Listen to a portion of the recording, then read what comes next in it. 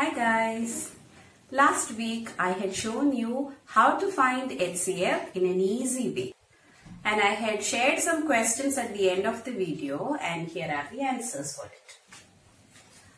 HCF of 6 and 18 is 6. HCF of 15 and 30 is 15. HCF of 10 and 24 is 2. HCF of 12 and 15 is 3.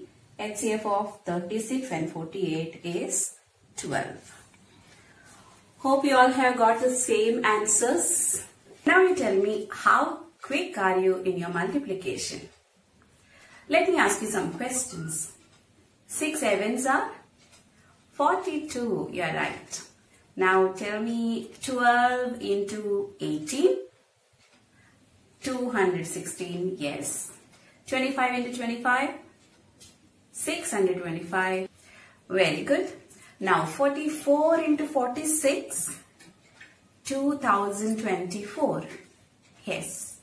Do you think I by-hearted these answers? Of course not. I calculated, but I calculated in an easy way.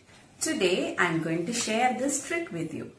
This trick or method can be used if the sum of the last digits of two numbers is equal to 10 and all the other digits are same. Let's try to multiply these numbers. 24 into 26. As I told, the first thing we need to check is this ones place digits 4 and 6 will add up to 10 or not. 6 plus 4 is 10 and the other digits are same. So this trick can be used here.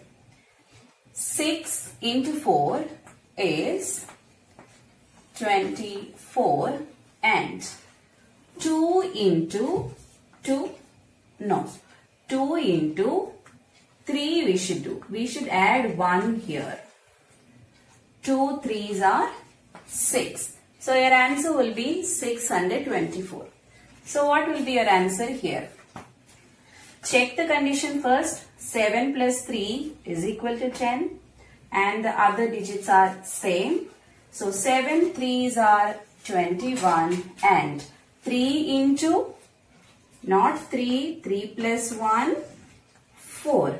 3 4s are 12. So your answer is 1221. What will be your answer here?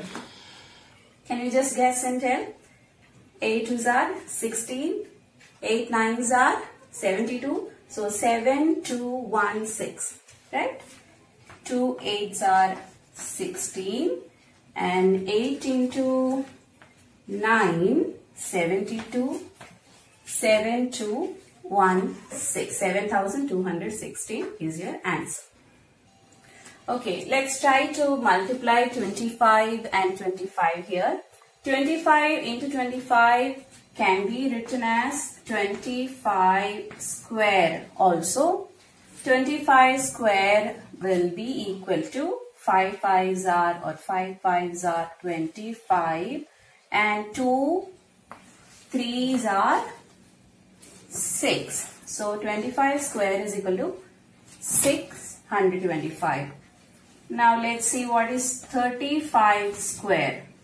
5 5s are 25 and 3 into 4 is 12 so 1225 let's try to multiply 51 and 59 and you should always keep in mind that if you have 1 and 9 here when you multiply 1 into 9 is 9 you should always add a 0 in front of that 9 you should make here two digit number.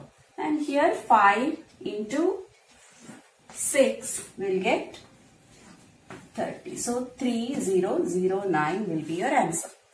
Let's try 29 into 21. 1 into 9 is 9. Add a 0. 2 into 3 is 6. So your answer is 609. You can try to solve these questions using this method which we discussed now. This trick is taken from Vedic mathematics actually.